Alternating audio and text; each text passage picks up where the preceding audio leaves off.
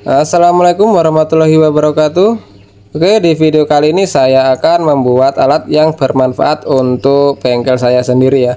Di sini saya menggunakan pen piston bekas Honda Beat ya teman-teman yang tebal seperti itu. Yang satunya tadi itu pen piston Jupiter Z ataupun Revo Absolute itu tidak bisa digunakan karena longgar di mata obeng ketok ya teman-teman. Nah jadi langkah pertama ini kita panaskan dulu untuk pen pistonnya ya teman-teman. Kita panaskan sampai benar-benar merah ya teman-teman. Dan jangan lupa kita gunakan tang untuk memutarnya karena ini panas. Kalau kita putar pakai tangan pasti tangan kita yang melepuh ya.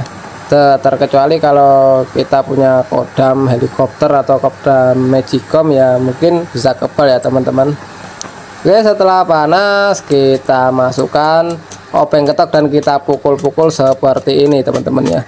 Dan untuk obeng ketoknya kita pakai yang bekas saja ya teman-teman. Jangan yang baru karena yang baru itu masih bisa digunakan untuk melepas baut ya. Dan juga untuk pegangannya kita menggunakan tanggem ataupun tang bisa juga. Tapi kalau tang kita harus pegang secara kuat-kuat. Bener ya teman-teman? Biar tidak mental.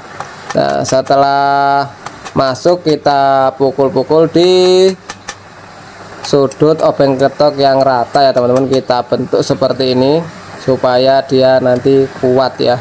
Dan terbentuk untuk ukuran obeng ketok maupun kunci delapan. Nah, setelah panas kita celupkan ke oli ini oli teman-teman ya. Nah kita celupkan oli sampai kemebul seperti ini pelupuk-pelupuk ya Nah ini hasilnya setelah dingin dan terbentuk segi 6 kita masukkan. Nah ini masuk ya teman-teman untuk obeng ketoknya.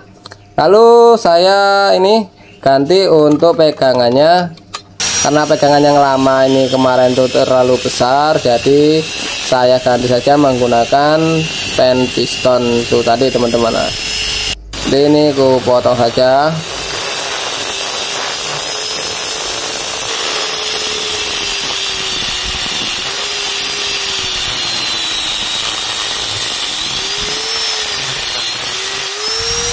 Nah setelah semuanya terpotong jangan lupa kita rapikan untuk sisi-sisinya ya teman-teman. Dan kita ratakan jika potongan kita kurang lurus ya teman-teman.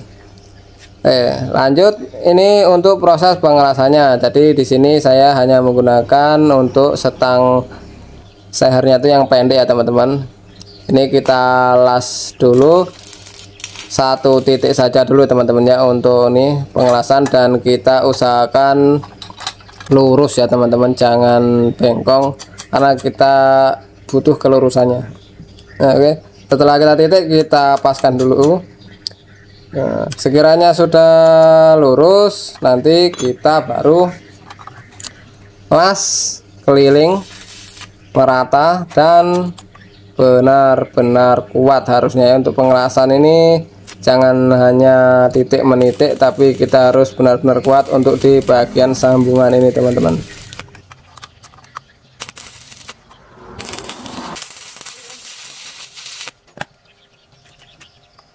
Nah, oke setelah dingin dan seperti ini hasilnya teman-temannya. Untuk lubangnya sudah terbentuk persegi 6 seperti ini teman-teman. Dan kita manfaatkan untuk gagang obeng ketok. Nah, ini jadi ketika kita mau menggunakan obeng ketok ini bisa kita ganti-ganti untuk matanya teman-teman karena kadang kalau saya sendiri kalau menggunakan obeng-obeng yang belian itu kayak kurang yakin terutama jika menemui baut yang agak dol ataupun agak kencang ya teman-teman bisa merusak untuk kembang obengannya ya teman, -teman. nah seperti ini contohnya untuk mata yang min tadi sangat mudah meskipun kuat ya.